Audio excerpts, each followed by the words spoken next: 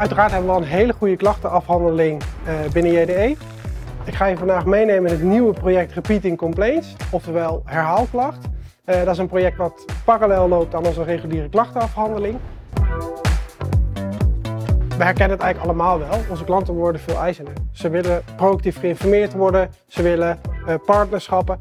En als er dan wat fout gaat, willen ze dat het goed opgelost wordt.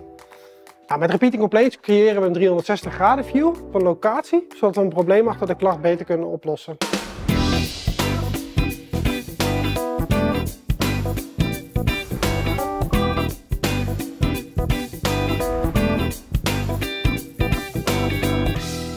Dus we hebben een, eh, een dashboard waarin we alle klachten, eerste lijn storingen en storingen kunnen zien van, uh, van een klant van het afgelopen jaar.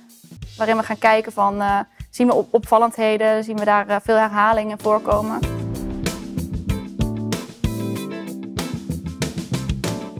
Dus moet je bijvoorbeeld denken aan storingen. Als we zien dat de machine al tien keer in storing heeft gestaan de afgelopen drie maanden, gaan wij kijken van ja, wat is daar nou eigenlijk aan de hand en wat kunnen we daarmee.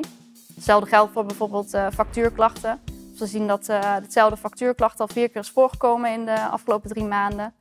Um, gaan wij erin uh, duiken en kijken van uh, wat is er nou eigenlijk aan de hand.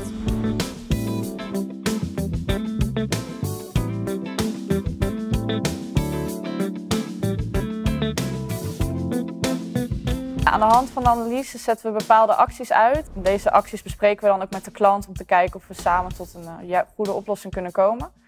Uh, je merkt heel erg aan de klanten dat ze het waarderen, dat we proactief contact met ze opnemen en samen uh, op zoek gaan naar een passende oplossing. Onze bevindingen vatten we ook samen in een presentatie. Zo heb ik bijvoorbeeld de afgelopen kwartaal KPN geanalyseerd. Heb ik dat dus ook in een presentatie gezet en gedeeld met, uh, met mijn accountmanager, met AJ. En, en hij heeft ook deze resultaten weer gedeeld met KPN.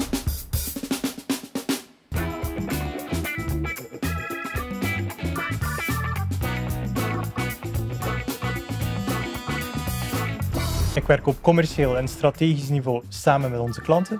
Um, en klanttevredenheid gaat daarmee hand in hand. Een van de projecten die daaraan bijdraagt is het Repeating Compliance project. Eén keer in het kwartaal uh, zit ik samen met CX en zij geven mij een voorbeeld van een klant waar het af en toe verkeerd gaat. En dat op mijn beurt neem ik die data mee naar onze klanten.